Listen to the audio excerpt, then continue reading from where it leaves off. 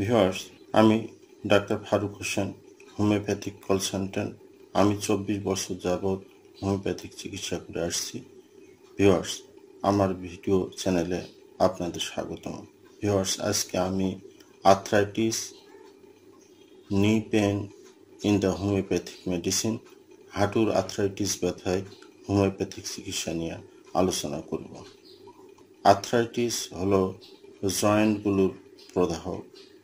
হাঁটু নি আর্থ্রাইটিসের প্রাথমিক লক্ষণ হলো ব্যথা, ফোলা, শক্ত হওয়া। শরীরের জয়েন্টের সমস্যা বা যে কোনো রোগ দ্বারা আক্রান্ত হতে পারে। তবে এটি হাঁটুতে বিশেষভাবে দেখা যায়।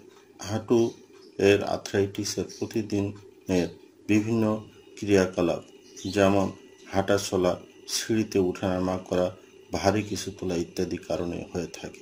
ভিউয়ার্স, মনে রাখবেন, হাঁটু শরীরের ওজন বহন করে। হাঁটার সময় একটি পা তোলার পরে দ্বিতীয় পা শরীরের সমস্ত ওজন বহন করে।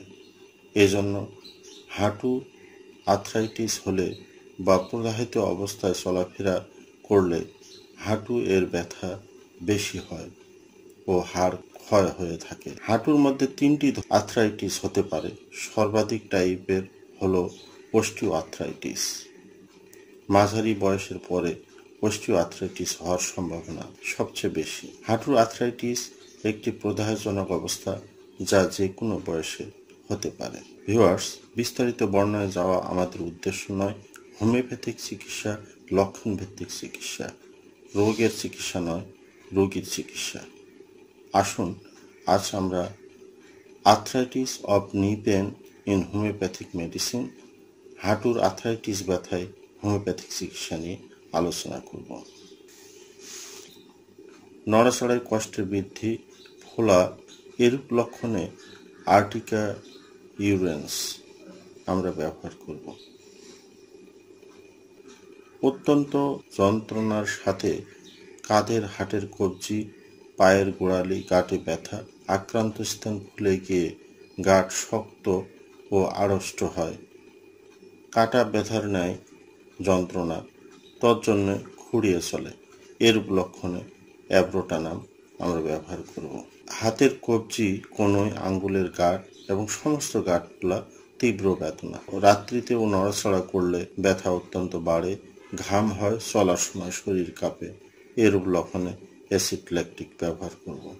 গেটে ব্যথার তরুণ প্রদাহ, হাঁটুর দুর্বলতা, আক্রান্ত স্থল, ঝিনে ধরার মতো হাত পা বরফের মতো ঠান্ডা ও অসার চলার সময় পা ঠিক স্থানে পড়ে না। সমস্ত ওই পেশি বন্ধনী যেন ঢিলা। এরূপ লক্ষণে একনাইট আমরা ব্যবহার করব। পেশি বিশেষত দুই পায়ের ডিমে ব্যথা, কাঁধে ঘাড়ে, কোমরে পিঠে ও পাজরের মধ্যে ব্যথা, নড়াচড়ায় বৃদ্ধি স্ত্রীলোকদের জরায়ুর কোনো পীড়ার সাথে ব্যথা, এরূপ লক্ষণে আমরা একটিয়া রেসি ব্যবহার গেটে বাদ গাঁটগুলো ফুলে ফুলে লাল বর্ণ হয়। অত্যন্ত যন্ত্রণা, বৃদ্ধাঙ্গুলি ও অন্যান্য আঙ্গুলের সন্ধিবাদ। এরূপ লক্ষণে আমরা অ্যাসিড ব্যানজয়িক ব্যবহার করব। ঘাড় সেটে ধরার মতো এক প্রকার ব্যথা। ঘাড় একটু নিচি করলেই ব্যথা বাড়ে। শরীরের চারিদিকে যেন পেটি দিয়ে বাঁধা। মেরুদণ্ডের ভিতর বুঝিয়ে দেওয়া হয়েছে অনুভূতি। নড়লে চড়লে ব্যথা। সময় সময় পায়ের গোড়ালি থেকে হাঁটু পর্যন্ত টেনে খেসে ধরার ব্যথা। এরূপ লক্ষণে আমরা অ্যানাকান্ডিয়াম ব্যবহার করব। শরীরের বড় বড় গাঁটে ব্যথা ও প্রধাও কোমরে বাত, স্থান পরিবর্তনশীল ব্যথা, পূর্বের স্থানে ব্যথা থাকে না, নতুন আক্রান্ত স্থানে তীব্র ব্যথা। ফলে গরম লাল বর্ণ হয় চকচককে করে, হাঁটু শক্ত গাঁট ফোলা একটু মাত্র নড়লেই ব্যথা বৃদ্ধি হয়। প্রচুর ঘাম হয়, এর লক্ষণে আমরা ব্রায়নীয় ব্যবহার করব আক্রান্ত স্থান খুব শক্ত, অসাড় ও টেনে খেসে ধরে থাকার মতো ব্যথা বা ছিঁড়ে ফেলা ব্যথা রাত্রে ছটপটানি বাড়ে ও তাতে পা বেঁকে যায়, বেঁকে চুরে শক্ত যেন ছোট ছোট হয়ে যায়, এরূপ লক্ষণে আমরা কোষ্টিকাম ব্যবহার করব। বাত ব্যথায় রুগী সহ্য করতে পারে না, বাবারে মারে বলে সহ্য করতে পারছি না বলে চিৎকার করে। গরম, ঠান্ডা, কিছুতেই উপশম হয় না। এরূপ লক্ষণে আমরা কেমন মিলে ব্যবহার করব? পুরাতন বা সন্ধিস্থানে সিলিক মারা ব্যথা, বাতাস লাগলেই ব্যথা বাড়ে। সামান্য স্পর্শে ব্যথা বাড়ে, কিন্তু জোরে চাপ দিলে ব্যথার উপশম হয়। এরূপ লক্ষণে আমরা চায়না ব্যবহার করব। হাতের পায়ের আঙ্গুলের হাঁটু প্রভৃতি তীক্ষ্ণ ব্যথা, বুড়ো আঙ্গুলে কেটে ব্যথার মতো ব্যথা বাতের ব্যথা নিম্নাঙ্গ বিস্তৃত হয়। পুরুষ সন্ধিতে যায় তৎসবুদরাময় এর লক্ষণ আমরা ইলাট্রিয়াম ব্যবহার করব। তরুণ বাত।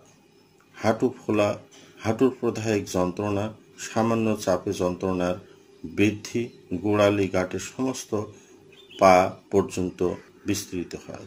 এরূপ লক্ষণে আমরা গুয়ে গুয়েকাম ব্যবহার করব। নিম্নাঙ্গ থেকে আস্তে আস্তে ঊর্ধ্বাঙ্গে পরিচালিত হয়। এক গাঁট থেকে অন্য গাঁটে যায়। এরূপ লক্ষণে আমরা লিডাম ব্যবহার করব। তরুণ বাদ, এতে লম্বাস্থি টেন্ডনগুলির অগ্রভাগে অধিক আক্রান্ত হয়। সিপিলিস গণেরিয়া আক্রান্ত ব্যক্তির গাঁট ফলে বা লাল বর্ণ হয়, অত্যন্ত যন্ত্রণা থাকে। ডান কাঁধের হাড়ের ভিতর ব্যথা হাত তুলতে পারে না। এরূপ লক্ষণ আমরা ফাইটোলেকা ব্যবহার করব। বাদ ব্যথা স্থির থাকতে পারে না। সবসময় নড়াচড়া করে তার মধ্যে আরাম বোধ করে, চুপচাপ থাকলে ব্যথার বৃদ্ধি, চাপাচাপি করলে ব্যথার উপশম। এরূপ লক্ষণে আমরা আরাস্টক্স ব্যবহার করব। গাটে ও গাটের নিকটস্থি ফুলে গরম ও লাল বর্ণ হয়। অত্যন্ত ব্যথা প্রথম সর্দির লক্ষণ প্রকাশ পায়, পরে বাতরোগ হাঁটু ব্যথা, এরূপ লক্ষণ আমরা স্টিকটা ব্যবহার করব। ওষুধের শক্তি ও প্রয়োগ। তরুণ বাতে এক হাজার শক্তি বা পুরাতন হাঁটু ব্যথায় দশ হাজার শক্তি প্রয়োজনে ওষুধ শক্তি ব্যবহার করতে হবে। ওষুধের মাত্রা ও ডোজ। তরুণ বাতে উক্ত শক্তিকৃত ওষুধের দুই মাত্রা প্রয়োগের পাঁচ থেকে সাত দিন অথবা দশ দিনের মধ্যে পুরাতন বাতে উক্ত শক্তির দ্বিতীয় মাত্রা পরিবর্তন রীতিতে বর্ধিত মাত্রায় প্রয়োগ করতে হবে। কমপক্ষে পনেরো থেকে বিশ দিন অপেক্ষা করতে হবে। তৎপর অবস্থা অনুযায়ী উচ্চ শক্তির ব্যবস্থা করতে হবে। পথ্য ও আনুষাঙ্গিক ব্যবস্থা। পথ্য ও আনুষাঙ্গিক ব্যবস্থা আক্রান্ত হাঁটুতে বালির পুটলি গরম শেক দিলে বেদনার উপশম হয়। রাস্ট্রক্স ও ব্রাউনিয়া মাদার টিংচার সমপরিমাণ এক ড্রাম দুই আউন্স পরিমাণ ম্যাথলেটিক স্পিরিটে মিশিয়ে বাহ্যিকভাবে লাগালে উপকার পাওয়া যায়। ভিওয়ার্স লঘু ও সুপাচ্য খাদ্য পথ্য হিসাবে দিতে হবে। দুধই সর্বোৎকৃষ্ট পথ্য। জ্বর থাকলে দুধ, সাগু, বার্লি দেওয়া যেতে পারে। অধিক আহার, টক মাংসাদি গুরুপাক দ্রব্যাদি পরিত্যাগ করতে হবে। ভিউয়ার্স, আমার ভিডিও দেখার জন্য ধন্যবাদ। প্রতিনিয়ত আপডেট পেতে সাবস্ক্রাইব করা না থাকলে সাবস্ক্রাইব করুন। আর হ্যাঁ ভিওর ভালো লাগলে লাইক ও কমেন্ট দিতে ভুলবেন না। ধন্যবাদ।